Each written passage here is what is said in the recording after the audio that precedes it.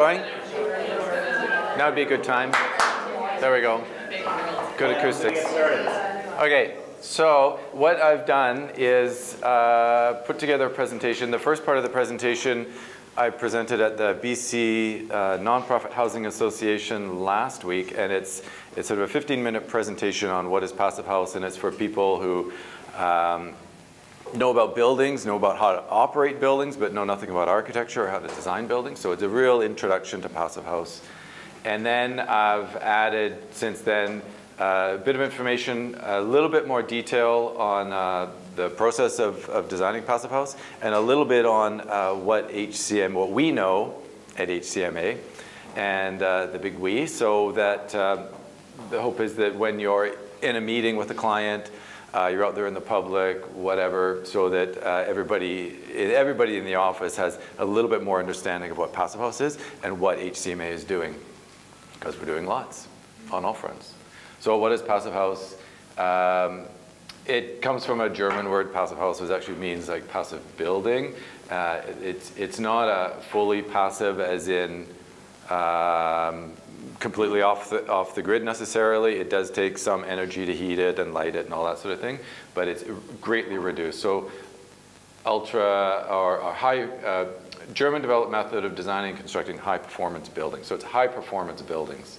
And uh, this is an early uh, Passive House before it was Passive House came on board. So in Regina uh, in the 70s, the provincial government had some money and they designed the, uh, uh, what's it called? The conservation house in Regina in the early 70s. Super insulated walls that had uh, dampers that came in front of the windows to keep things warm at night. A real experiment, and, uh, and then they monitored it. I, I, think someone actually lives in it now. They actually did sell it.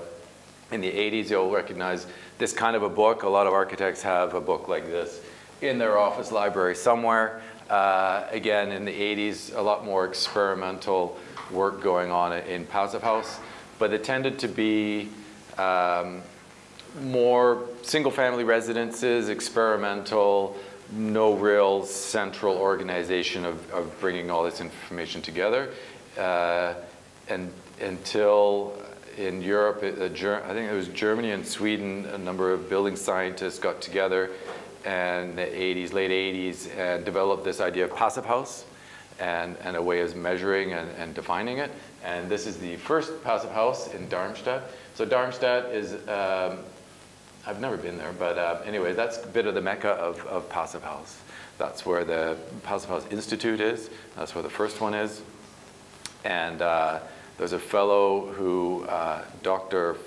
Feist, Feist, I think his name is, is still alive and well and leading the Passive House uh, Institute.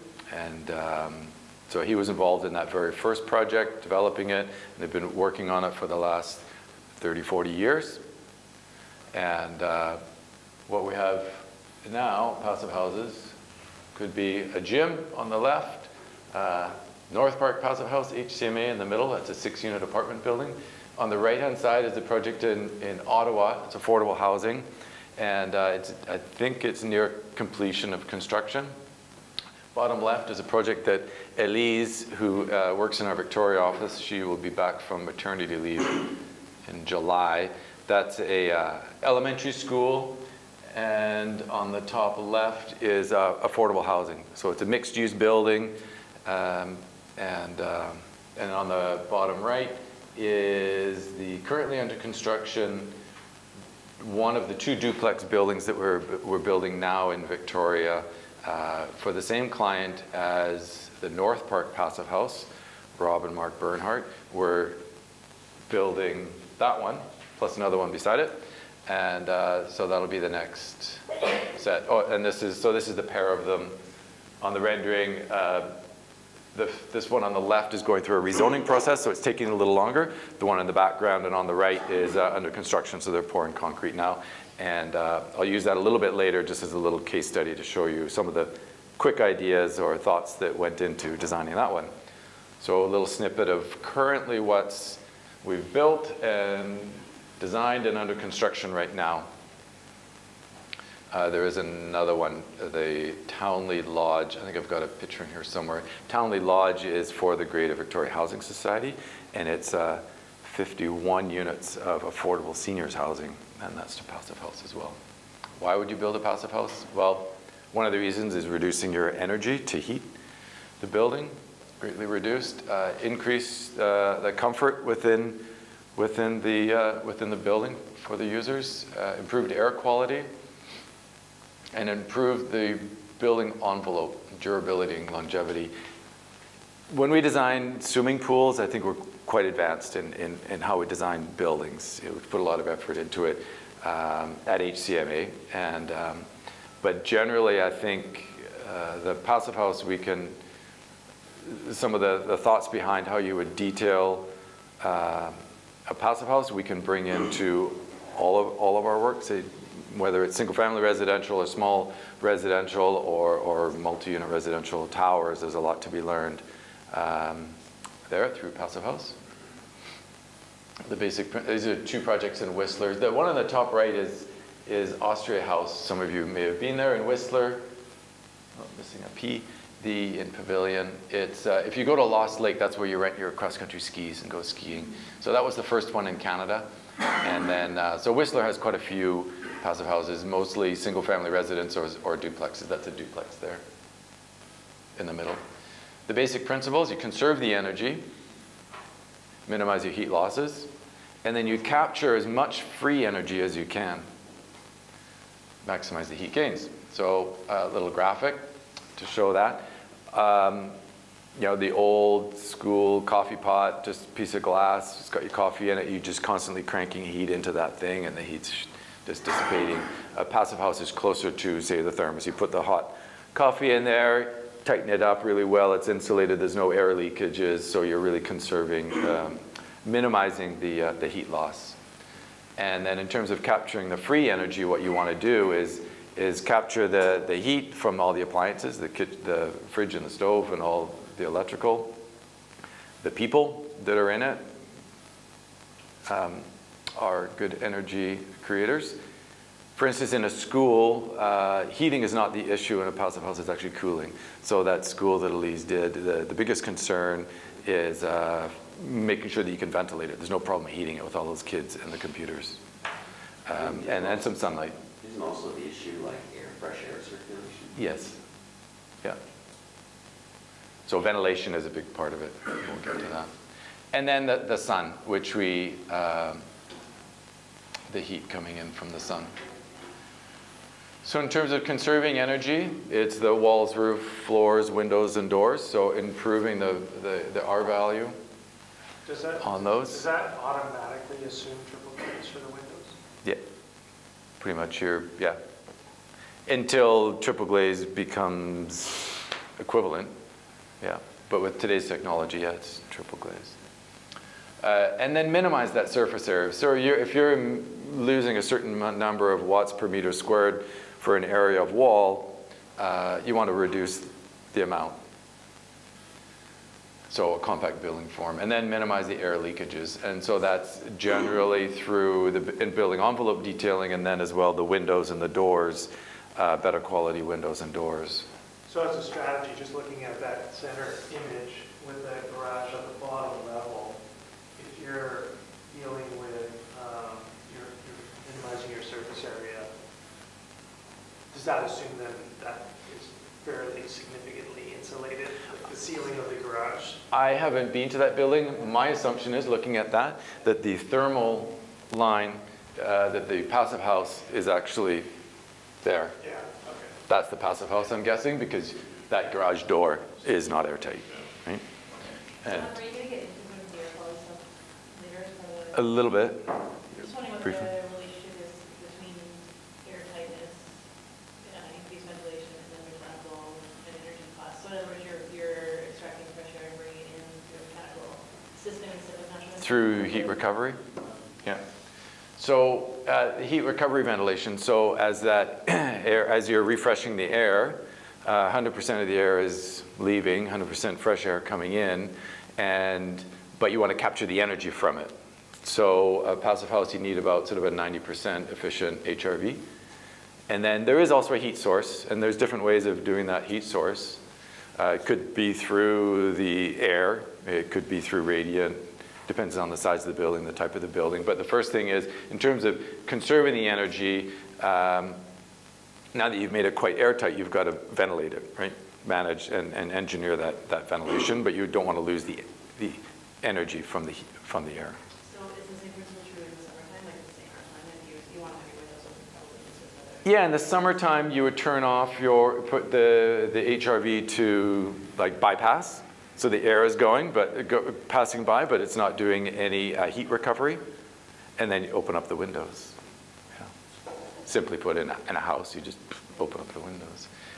Uh, in terms of capturing the free energy, capture the solar energy, we, we do that all the time, right? You, you, um, you know, look at the sun path, where's the sun coming in, manage that.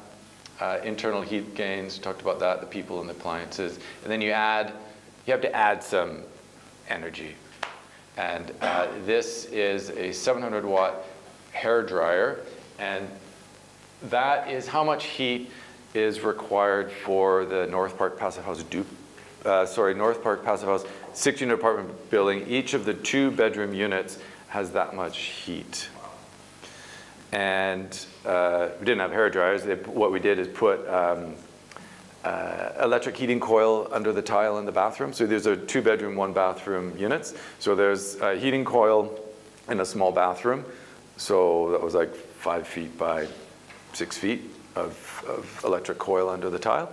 And then one little electric um, convector heater, wall mounted heater. And that was, that's about it for, um, for heating. The rest of it's. Does it matter, you know, it, it's not about evenly distributing the heat throughout the unit, it's more about just adding some. You're adding some heat and through the ventilation you can pass it around. Yeah. So the, actually at North Park, uh, there are three-story units that had these long stair down to the, uh, the entrance and it was a bit cool down there. So they're actually on two of the units that are like that. There actually is a, a, a tiny little space heater down at the bottom. So a little bit more than 700. But that's kind of not a lot of heat in the heating season, but you do have to add some heat. Uh, I talked about compact building form. Not every building has to be a cube. If you're, if you're building a, a really small building, the shape becomes more important. If you're doing a larger building, the shape becomes less important. So we're not restricted to cubes. So this, for instance, as, I- as I said, is a passive house. It's a U-shaped courtyard. The first two floors is a U-shaped courtyard. On the right is a more, more school space. And on the left, the four-story block is, is a, social housing. So there's quite a lot of surface area. It's, it's not some big cube. Um, but you will actually notice the, the, the thermal envelope is actually, you know, at the glazing level and back here at the glazing level. This, this sort of stuff is outside of the thermal envelope. So even if you have a very tight thermal envelope architecturally, it doesn't have to be a cube, right? You can extend. So this is all outside, and it's just about managing the thermal, thermal bridging. So again, the, the thermal envelope line is back there, and this is all outside.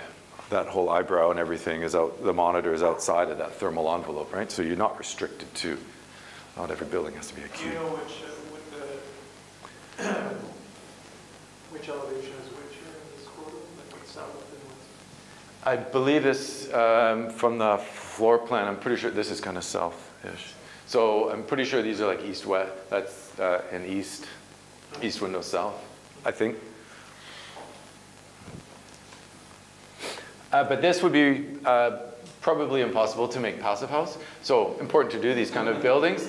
But just to give you a sense, if you have two people, if you have two people sitting in here, there's awful lot of thermal bridges and auto, a lot of cold surfaces around it. So that kind of level of, of shape uh, would, would not work as a passive house. So you want to minimize the air, air leakage because we, we lose a lot of heat just through air leakage. Like in um, a typical house, single family residence, if, if you do a blower door test and you figure out the accumulated, accumulated um, amount of air loss, like in my place, it's probably like a hole like this. So that's like having your window open always, right in the middle of winter, right? You wouldn't do that In a passive house, you kind of want to bring it down. You can get it down to about that. And the, the amount of air that's, that's leaving is just through the little cracks in the windows and doors and a couple other little spots, but that's just air leaving. We had an air test done on our house, it was before house, Yeah.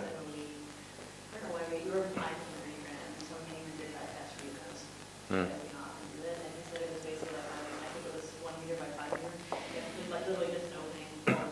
Yeah. It's, Wow, that's- One meter by five meters. so that- yeah, it's huge. Like, big, Yeah. Yeah. Yeah. So you do, you do something like that and it's like, holy crap, that's pretty bad. Yeah. So, but in terms of the air leakage, it's really just about managing, um, managing the details. This is a detail at the North Park Passive House. So it's a wood frame construction, two by eights, and um, it's a semi-balloon frame. So rather than having a stud coming up and a plate and the wall plate coming over to here, penetrating the air vapor barrier every, every joist, what we've done is the studs come up to here and then bolt a piece of wood on there, a few little holes, and then the joists are, are on um, hangers and pre-strip the air vapor barrier. So just continuity of that. It's just thinking about air vapor barriers in a different way. And um, so they were still able to frame the walls similarly, tilt them up and bolt things on, but managing that. And you'll also see one of the, one of the important things is to have a, a little chase here. Here it's a two by four chase on, on the warm side, on the house side of the uh, air vapor barrier. And that's where uh, all the electrical data run, um, any of the ventilation. So the ventilation, you'll see a picture.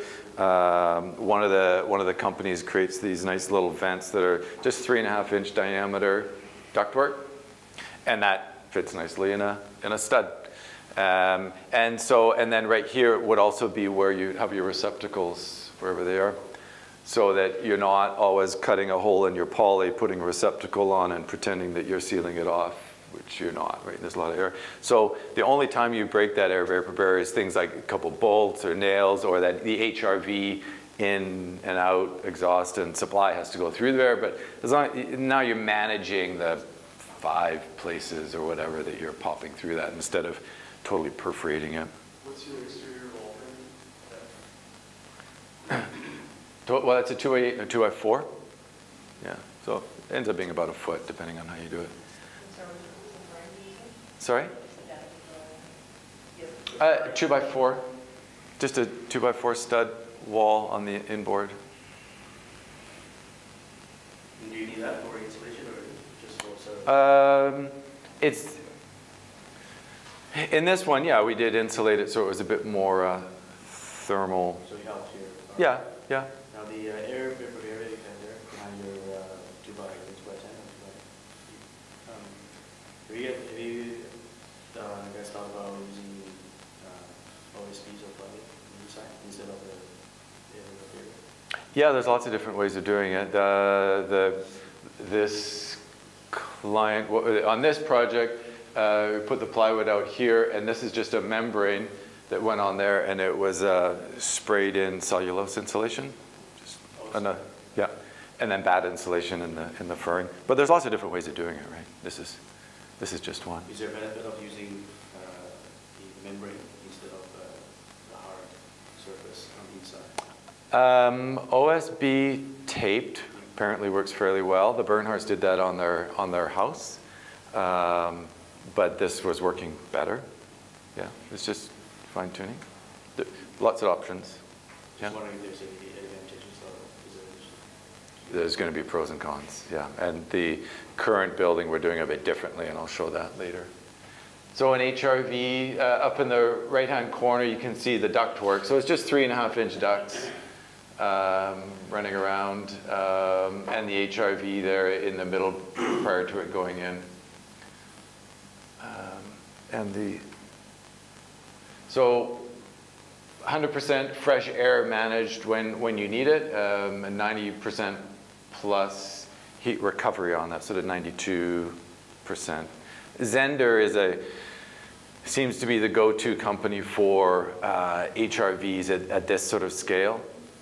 Uh, If we do a larger building, it would be a, it would be a larger uh, HRV, custom built probably, we'll, we'll deal with that. But even the, um, the Townley Place Seniors Affordable Housing, what we may end up doing is just having a series of these, uh, these type of units up here and, and stack them. So this um, could be in a closet in the hallway and it might supply uh, maybe a five or six uh, units um, with one HRV.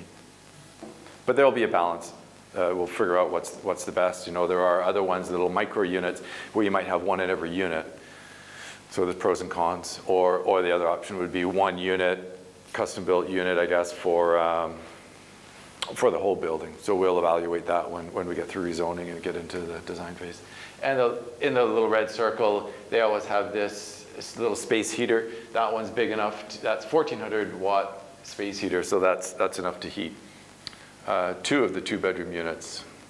That's, um, you guys probably don't listen to CBC Radio Victoria, but that's Khalil Akhtar. He's a local uh, uh, CBC radio host, and he came and interviewed us there, learning about HRVs. Orient, orientation to sun is important. Don't need to say anything more than that, other than you want to bring the heat in when you need it, and uh, in the in the heating months, and you want to shade it in the cooling months, shaded in the cooling times of day, so east and west, manage the shading.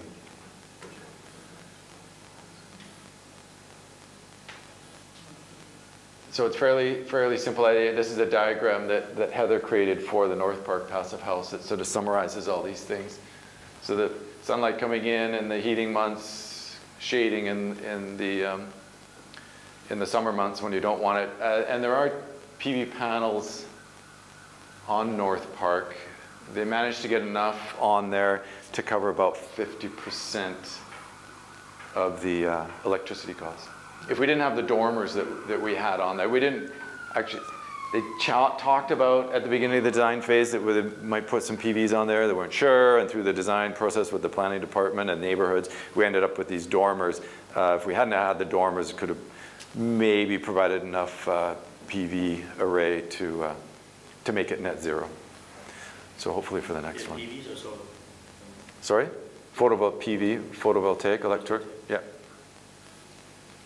So in terms of certification, um, there's a, you can be a uh, Passive House certified designer, and uh, the way of doing that, you take courses and you can either do an exam, or you can be the principal designer on, on a passive house, so the one doing all the calculating and that.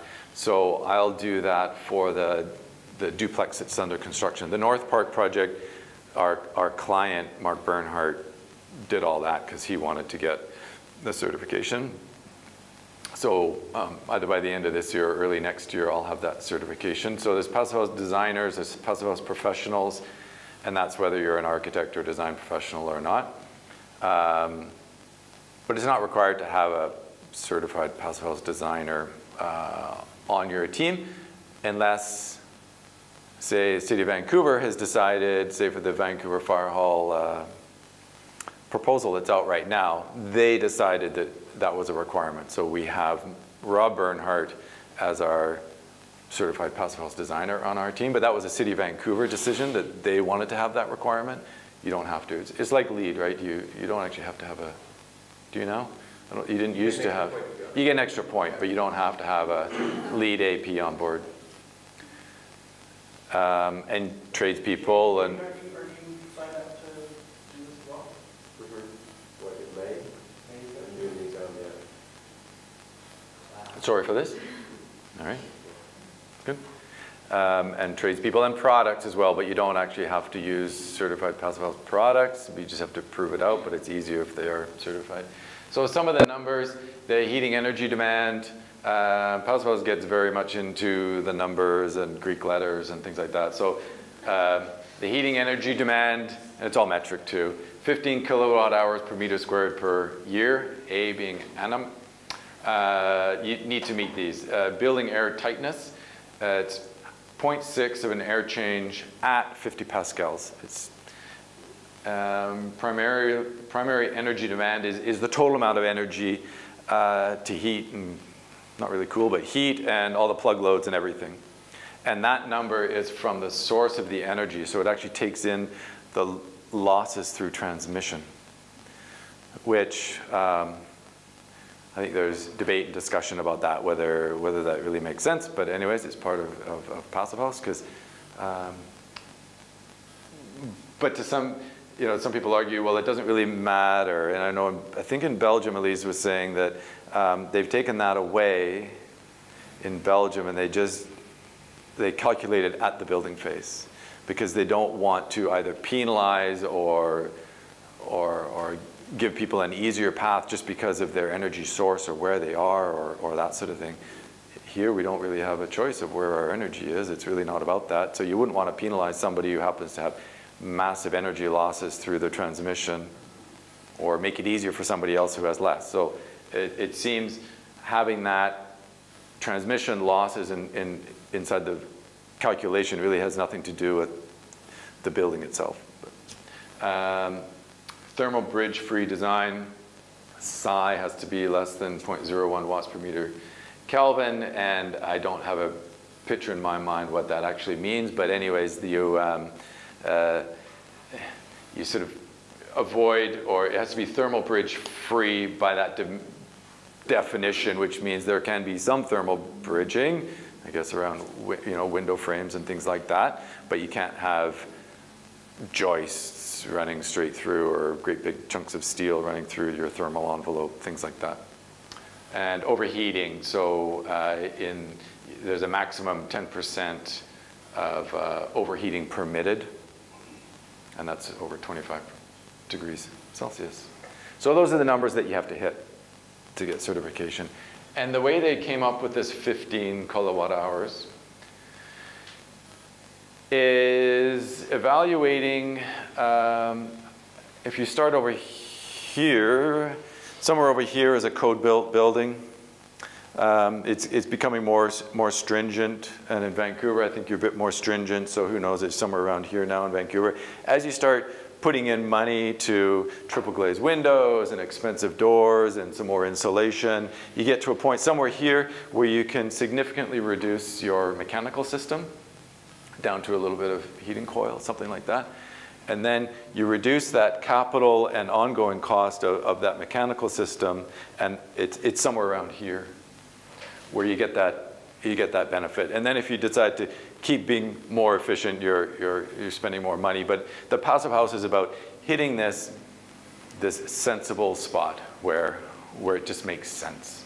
Um, but it's not about completely being zero in terms of your energy performance, but being a whole lot better. And, and just hitting that point where you can reduce your mechanical systems.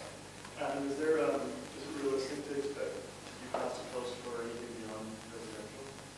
Like, uh, Fire hall. small scale? Well, okay, so for Yeah. fire hall, how do you build the apparatus bigger? That's a good question. Stay tuned. Um, the two buildings, and we've had that conversation. So the two built, the two fire halls that we know of that are certified on the um, Passive House Institute website. One of them says, um,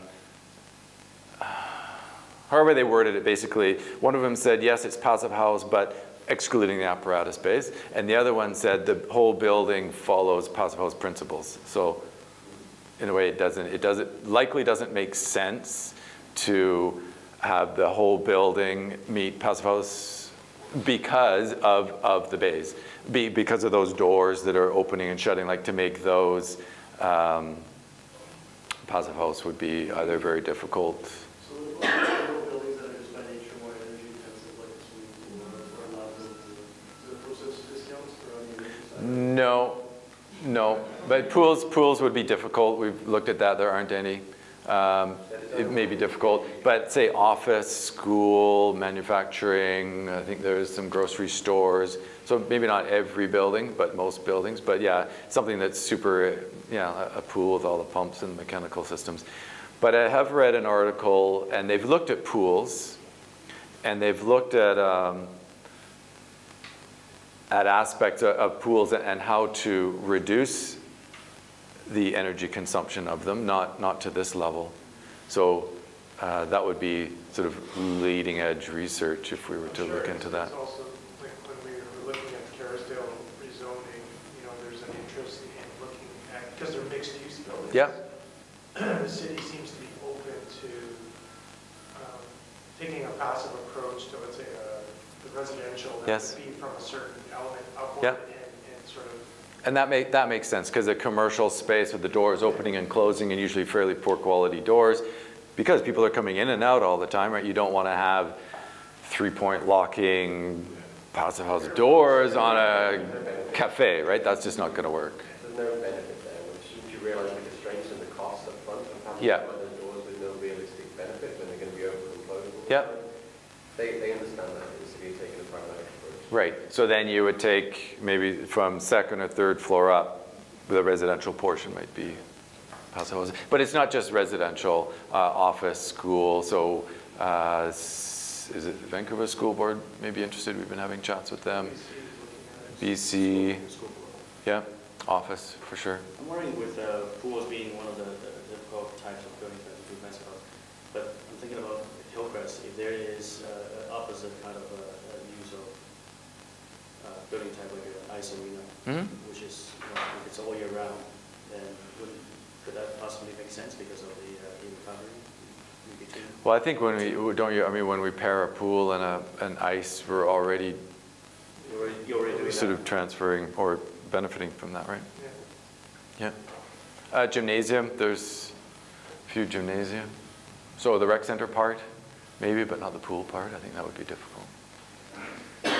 Um, How do you design a passive house? You follow the basic principles. You model it with PHPP, which is the Passive House Planning Package, which is really just a, you'll hear passive house people talk about PHPP a lot. It's an Excel sheet, and I'll, it's a fancy Excel sheet. That's what we were like, I- well, I- all that comes to mind is, you design passive house, use Yep, Yeah. yeah. The same sort of form as an Excel spreadsheet too. Yep. Uh, There is, there is one test that you need to do on, on site, and that's the blower door test, and you usually do a couple. One before you do drywall, just to make sure you're doing okay, and then one when you're done drywall to prove that you're meeting that 0.6 air change at 50 pascals. So that's the only test, and that has to be third party. And then you take your drawings and the PHPP and send it off to a certifier. And uh, I know, I know there's one person, Andrew Peel in Canada. There might be a couple others in Canada who, who are certifiers. And then um, there's an institute in Ireland. It seems to be popular for, for certification. And you send it off, and they basically just redo. It's a theoretical thing. They don't go to site or anything like that. They just recreate the PHPP, make sure all the data is put in there properly. They'll look at yours and tell you where you've screwed up or, or, or, or messed with the algorithms if you have. But uh, they'll, so they'll create their own, and then, and then it's you're done. It's easy peasy. What's that? It is less onerous than LEED for certification? Absolutely. No, of course I made it easier. It's, it's different. I mean, instead of uh, a binder like this, it's an Excel sheet, but uh, the Excel sheet is, is pretty thorough, is, um, so we'll go there. The argument is that you could achieve LEED without even considering it. You know, you could, you could get a LEED certified building without even thinking about what, what the, you know, where the opportunities are. You know, you just kind of, it's a reflection of what you built. Passive house is an approach, so you embed it within the design process. And you're constantly kind of checking the design against the PHPP outputs to find out if you're compliant or not. That's the key difference that I see. Yeah, I don't think you could retroactively, it would be, I think you're modeling it and you're testing it as it was a real thing as opposed to this box and I checked it. Yeah, LEED is like a verification, or even the energy modeling is LEED for LEED purposes. It's just like, I design this, you energy model it, you tell me how many points I get. That's, Right. you know, it's inherently different about you're embedding this in process. yeah, you, you wouldn't, you wouldn't design a building, build a building, and then go, oh, I wonder if it's passive house. That's just not going to happen.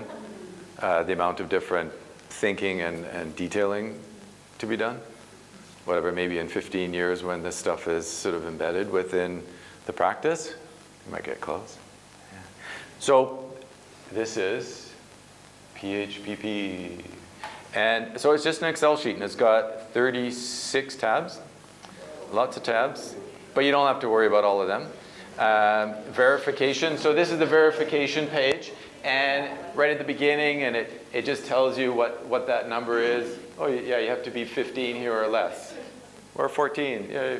Um, the air change here, uh, I think there's the primary energy demand. Well, that way I haven't put in all the data for that, so that's one that's got to be less than 120. This is the verification page that just says whether you meet it or not. Yes, no. Um, there's there's tabs like this. So climate.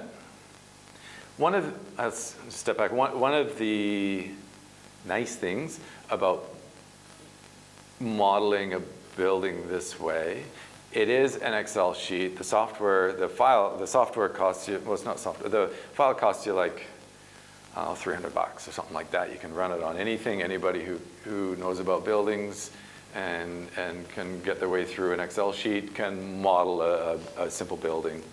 Um, you don't have to rely on, on that third party.